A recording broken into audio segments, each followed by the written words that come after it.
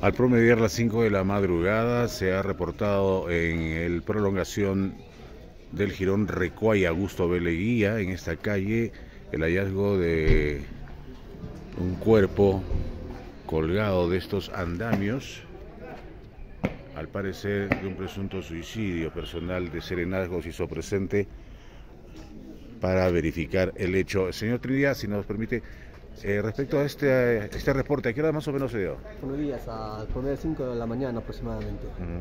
¿Que fueron vecinos o algún transeúnte? Eh, llamaron a la central un, un, transeúnte al momento que estaba bajando las gradas y se dio con esa sorpresa y inmediato nos llamamos y nos constituimos al lugar y efectivamente pudimos observar ¿no? la tragedia de un joven que se, encontraba exterior en una construcción.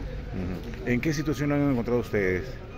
Eh, con el torso descubierto y cerca las gradas, ¿no? Al parecer, pues, este, en aparente estado de ebriedad, el joven se acaba de.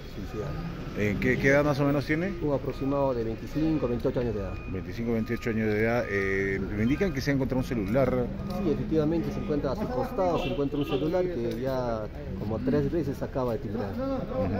Y no, no, no sé, nadie lo, nadie lo ubica, nadie lo reconoce de qué barrio. No, los, algunos vecinos que han estado transeúntes por acá eh, mencionan que no, no, es una persona conocida o que radica acá en el barrio. Perfecto, muchas gracias.